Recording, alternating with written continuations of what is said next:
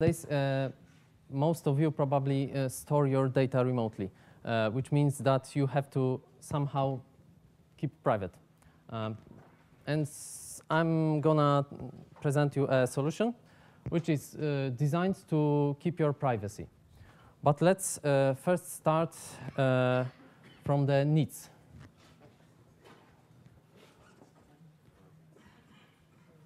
Well, let's continue. Um, what do we need to keep private is that uh, we have to uh, rely only on ourselves, basically. Um, you can't store your data unencrypted somewhere where especially you don't know where it can be stored, on what servers and what more. Um, Benjamin Franklin said that uh, three can keep a secret uh, when two of them are dead. And this sentence is really, um, really up to date.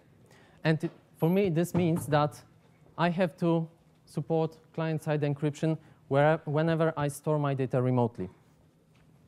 Uh, to complete the privacy, I also have to pro- provide the secure transfer, which nowadays is uh, rather a standard, and uh, provide us fault tolerance in order to uh, keep my data safe uh, if something goes bad. But also, what I really appreciate is that I don't want to spend too much time on doing this. I don't want to encrypt each of every file I have. Uh, I don't want to use too many tools for it. So there comes SXFS, which is designed to keep your data private and keep it all easy. Um SXFS is uh, encrypted fuse-based file system mapping to SX remote uh, distributed object storage. Um, and it's open source, so everyone can use it. Um, so let's take a look how, how does it work. Uh, from the user perspective, uh, you have to deal with uh, Fuse API, uh, which means that uh, the user will only have to uh, use this, uh, this software as a regular local file system, which means that you don't really have to care about what you are doing. You just copy a file, uh, remove it, uh, and so on. Uh, SXFS supports um, works as a mapping to remote uh, file, uh, remote objects. Uh, so the file is mapped to the object stored in the cluster, and uh, the SXFS supports uh, task queuing and transfer resumes, which uh, make it uh, well uh, quite robust when you re-upload your data or uh, something like this. Uh, from the data transfer perspective, um, file, uh, files are uh, um, splitted into same-sized blocks, which means that uh, it works like any other usual uh, distributed storage system, basically. And so uh, the blocks are distributed fairly over the cluster nodes, which means that the more nodes you have, the less, the less time you spend on the, on the data transfer because you have parallel block transfers support. And uh, thanks to the consistent hashing, uh, all your data is fairly distributed over cluster nodes. And of course, this, uh, this all comes with uh, fully client-side encryption. Uh, how does this client-side encryption work? It is just based on the standard algorithms. Um, blocks are encrypted with uh, AES256 in CBC mode, and they are also connected with um, HMAC code for uh, integrity checks. And uh, what is, what is uh, also needed for, for this encryption to be secure is that uh, the duplication is only on the file level. So when you have your file splitted into blocks, it is, uh, those blocks are connected with each other by uh, using the IV, which means that when you have changed, for example, one last block of the file, the whole file needs to be re-uploaded. This is because uh, uh, doing uh, such uh, deduplication on the block level for encrypted data would leak some information on, on the file structure. And as a bonus, you can uh, also encrypt your file names and file sizes to, well, be much more, um, uh, let's say, pedantic in this, in, uh, in this encryption scheme. So if any cluster user had access to your uh, files, files listing, it can no longer um, deduce what, what are the files, basically. now I'm going to tell you a little bit, uh, or maybe summarize the architecture of, or as, of SXFS. On the right-hand side, you can see client uh, laptops. Uh, these are uh, Linux machines, basically, on this picture, but you can also use uh, mobile phones and stuff for it. But the box clients use Fuse API, which deals with AES256 filter. And the filter uh, is designed to just encrypt your uh, data blocks, which will go through uh, standard HTTPS over standard HTTP uh, 443 uh, ports, doing this whole solution firewall friendly, and the data is stored on the SX server. If you have a need to provide fault tolerance and data replication, you can easily add more nodes to the cluster, and then uh, you have uh, basically more security of your data. Uh, so let's get started. How can you use SXFS? Uh, it is already a part of a couple of common distributions. It is uh, part of Fedora, um, Debian, and we have an e-build for Gentoo system. Uh, we plan to become a part of CentOS SIG and Mac OS X via Mac OS ports. How do you install it? It's fairly easy. On Yum-based systems, you just install skylable-sx. On Debian-based, uh, you install SX package. On Gentoo, you uh, install SX from the net-misc, which is fairly easy. If you want to download sources uh, and try it uh, on your own, uh, here you have a couple of dependencies uh, you, which you have to fulfill. And then you just have to uh, download the sources and untar them and configure make make install. Uh, it's fairly easy, known for each of you. Uh, so in order to to work with your uh, with your data securely, you have to have some server. Uh, the setup of the server is uh, very easy. It's one command, and it's an interactive script which will guide you through through the needed information. And for most of the questions, you just have to hit enter. Uh, because it, it defines the default answers for the questions. As you can see, you, you, you define uh, storage where your data will be placed, size of the storage, IP address, and so on. In order to make this uh, solution work uh, from the, uh, for the client, you have to make a user on the storage, which will be authenticated, and uh, create a volume for this user uh, you have to use dash F AES-256 flag, which will enable the encryption on the volume. Um, we have to enable encryption on the whole volume uh, in order to make our other clients uh, work uh, the same way. So they are informed that there is an AES encryption working. Um, and that's it from the server side. When it comes to the client setup, it is also fairly easy. First, you need to SX init to the cluster. Mm, there is an example, URI, which was previously used for making the cluster. So it is, it is the same.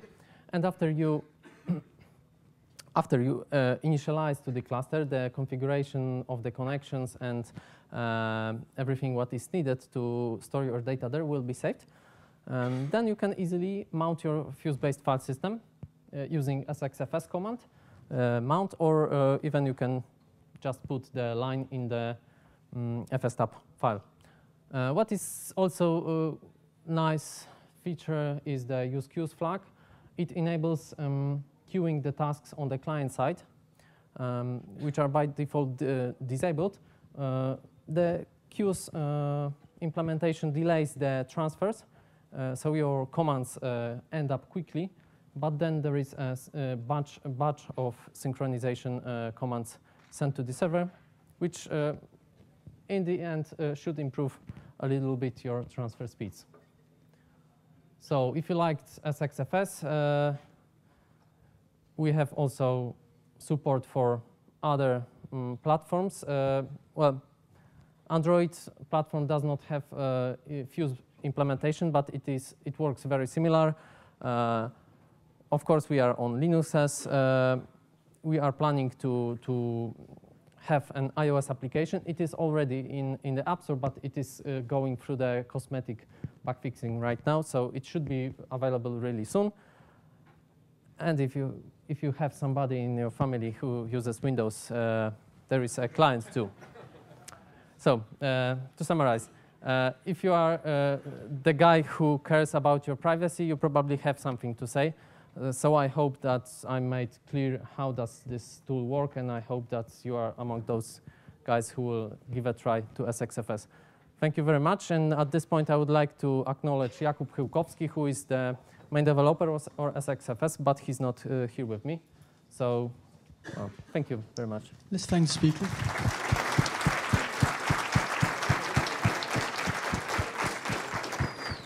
So we have time for a couple of questions. Okay, let's just start. Hello, what can you tell me about failure tolerance? Ah. So, if, for example, if the network connection breaks down or the hard drive has an error where the files are stored, uh, do I have to Uh, worry about all my data that's broken then? Yeah. Uh, first of all, uh, the, the server keeps your data replicated. So when, uh, for example, the server side dies, uh, your part of your data, well, at least some replicas should be there. So uh, in, in case you uploaded some of the data and your connection failed, uh, you will have a reservation for your data, which, uh, un, well, for some time, uh, your data will be there un, undeleted, so we can re-upload it again. Uh, when your connection dies, well, after, after your file was uploaded, you of course don't have a problem. Any other questions? There is. You said that it's available under the GPL v2. Um, would you consider making it available under the GPL v2 or later? Uh, currently, currently not, but uh, currently not, but uh, yeah, it- that's that, that's our license. How do we say it? So no. Here we go. Any other questions? Okay. Uh, you were saying that you are uh, delaying syncing uh, data to the server. Yeah. What about uh, power loss at before uh, before uh, sync? What uh, happened with user data? Uh, yeah, this means that uh, SXFS won't be able uh, data to the server, of course. Uh, so the first of all, that is that is why this uh, flag is disabled by default. Uh, I'm speaking about use flags. This uh, saves you the fault failure handling, basically. When you uh, fail to upload your data just in time, uh, there is no, not, not a problem because you have error. Uh, but when it happens when the operation is delayed, uh, SXFS basically stores the data on uh, backup dir. Uh, so until it is uh, fully uh, pushed to the server, it will be stored locally. Okay, we have time for a couple, maybe two more questions. Can, hi. Um, can I have Nginx as a remote proxy be, be um, in front of the SX uh, uh, server? Uh, well, our server is basically based on Nginx, so we, we, we use it basically. Okay. It's, it's just a part of, of the Okay. daemon. On the server side, you have uh, more backends. I mean, uh, you show an example to mount a volume, but this volume can be anything or uh, has to be hard drive. Uh, no, the volume is is just um, well, it's just a, um, a container of your data, which is uh, is like a partition in your computer. It it just separates uh, data from the other users. Uh, so well, it's it's not a, a hard hardware uh, like uh, partitioning. It's just logic. No, but I mean, I can use uh, Google Drive and uh, Microsoft whatever and another storage thing with an SFX server in front of it. So I have multiple backends where I can store information. We SFX does the job. Uh, no, SXFS works with SX uh, storage. It uh, uses the API of SX. Okay, uh, the last question. Uh, is there any uh, locking system to uh, prevent uh, making data inconsistent when there Uh, uh, distributed access? And locking system in terms of uh, different users from these different computers. Uh, yeah, basically uh, it works uh, on a, on a basis of uh, data revisioning. So when you uh, happen to upload the same file twice, or maybe a little bit changed file, uh, when you have enabled uh, data um, revisioning on your volume, which is uh, enabled by dash m flag, uh, the two examples of your file will be stored there. So uh, in terms of uh, remote locking, no, there is, there is just uh, who's first uh, then wins. Okay, let's thank Robert again. Thank you very much. Okay, great.